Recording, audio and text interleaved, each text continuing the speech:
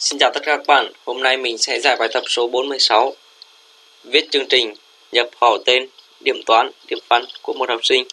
Và sau đó sẽ tính điểm trung bình và xuất ra kết quả. À, Thì mình sẽ nêu cái ý tưởng để giải bài tập này như sau. À, Thì đầu tiên thì chúng ta cần phải nhập vào họ tên điểm và toán và điểm văn. Sau đó sẽ viết các hàm để uh, tính điểm trung bình. Và sau đó sẽ xuất ra kết quả đúng không ạ? Và mình ý tưởng của mình thì ờ, mình sẽ viết một cái hàm nhập tên một hàm nhập điểm và một cái hàm xử lý tính điểm trung bình và sau đó nó sẽ là một cái hàm suất. Đấy. Ở đây thì mình sẽ có cái đoạn cốt mình đã cốt sẵn ở đây.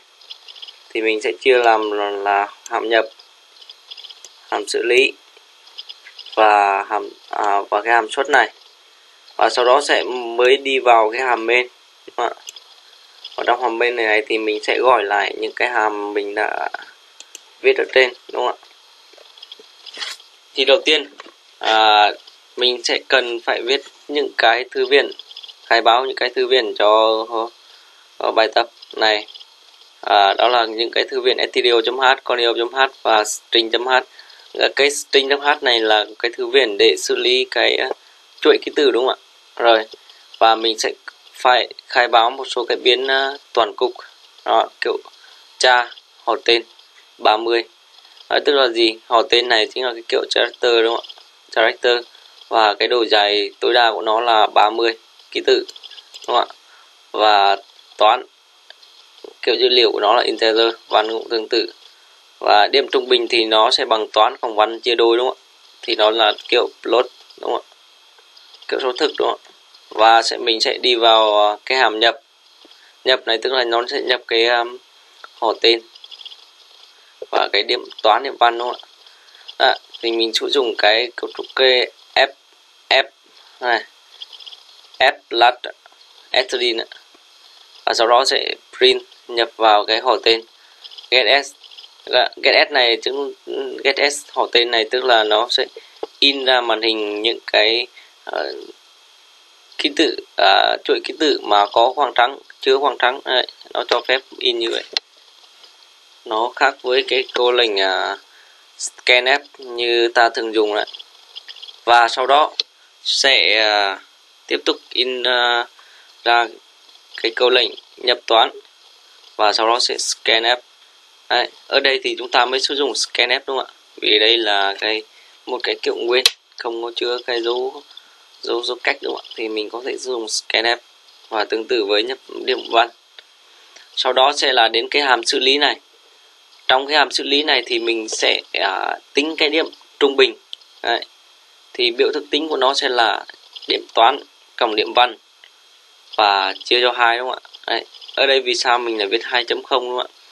Đấy. thì ở đây toán đúng không ạ? Điểm toán cộng điểm văn thì nó là kiểu integer vì lúc đầu thì mình đã khai báo là toán là kiểu integer và văn cũng là integer.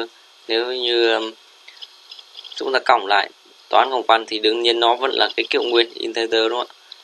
Ở đây à, các bạn có thể để ý là mình chia cho 2.0 chứ không phải là hai đúng không ạ? Đấy. Vì sao như vậy? Vì uh, khi các bạn khai báo 2.0 này thì nó sẽ hiểu cái phép chia này là một số thực đúng không ạ? Đấy thì kết quả nó sẽ chính xác.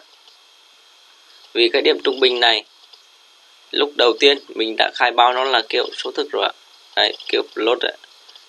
Nên ở dưới đây thì các bạn cũng cần phải làm cái vế bên tay phải này như như này để cho nó hiểu đây là một cái số thực. Đấy.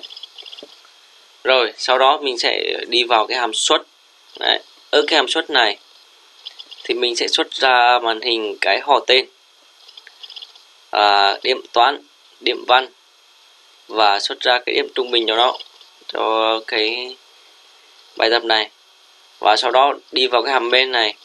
Sau khi vào hàm bên thì mình sẽ gọi lần lượt các hàm đã khai báo ở trên. Đấy. đầu tiên sẽ là hàm nhập sau đó sẽ hàm xử lý và tiếp theo là cái hàm xuất. Đấy. các bạn có thể để ý cái cấu trúc của nó như này. Nhập mở ngoặc đóng ngoặc và dấu chấm phẩy các bạn có thể xuống dòng hoặc có thể viết liền cũng được ví dụ các bạn có thể viết như này, cũng cũng không sao cả. Đấy. nhưng đây mình sẽ xuống dòng cho nó nhìn cho nó đẹp hơn và dễ nhìn hơn.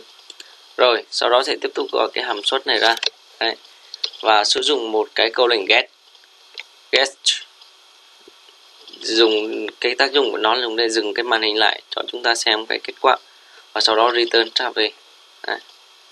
rồi ở đây sau đây uh, là thì mình sẽ chạy cho các bạn xem.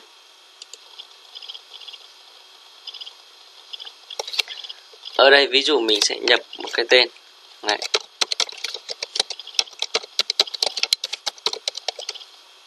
Đúng không ạ? Rồi. Mình sẽ nhập điện toán ví dụ đây là 8 9 thì nó đã in ra cái tên là Nguyễn Ngọc Phương. À, điểm toán là 8 điểm văn là 9 và điểm trung bình là 8.5 đúng không ạ Đấy. thì các bạn có thể so sánh với những cái mình nhập ở bên trên đây đúng không ạ thì nó kết quả nó hoàn toàn tương tự đúng không ạ Đấy.